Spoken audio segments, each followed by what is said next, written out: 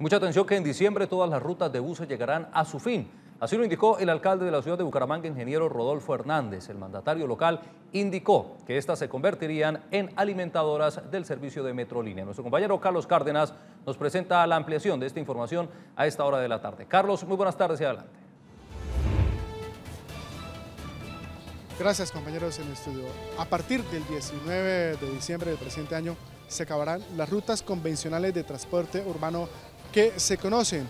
Así lo advirtió el ingeniero Rodolfo Fernández, el mandatario, asegura que estas se convertirán en rutas alimentadoras de Metrolínea. Todas las rutas de buses en Bucaramanga se acabarán para convertirse en alimentadoras de Metrolínea. El anuncio lo hizo el alcalde Rodolfo Hernández. Todos queda solamente Metrolínea y todo el mundo convergiendo con las rutas, donde ellos son los dueños. Eso no hay que olvidarlo. Todos los buses, los dueños son ellos mismos. El 19 de diciembre. Ahora, los señores transportadores están chillando. Si chillan es que lo estamos haciendo bien, a favor de la comunidad. Entonces vamos a darles carne y hueso, todos que coman carne y hueso, pero que sea rentable. Yo soy el primero en velar por la rentabilidad de ellos en lo posible. El mandatario local de Bucaramanga asegura que las actuales rutas de buses están politizadas.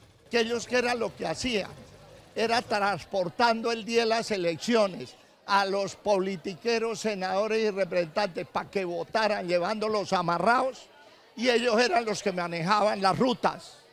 Y por eso es que tenemos 38 rutas por la carrera 33, que es imposible andar por la 33. Estas medidas buscan reducir costos a los usuarios de transporte urbano. Estoy rebajando 4.200 pesos a un hombrecito que tenía que tomar dos buses, le rebajé el pasaje a 2.100. Entonces vamos a ver quién gana.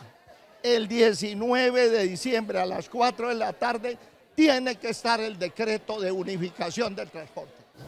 El alcalde de Bucaramanga espera que el 19 de diciembre esté firmado el decreto donde se cambiará el sistema de transporte en la capital santandereana. Esto es todo por el momento. Sigan ustedes en estudio.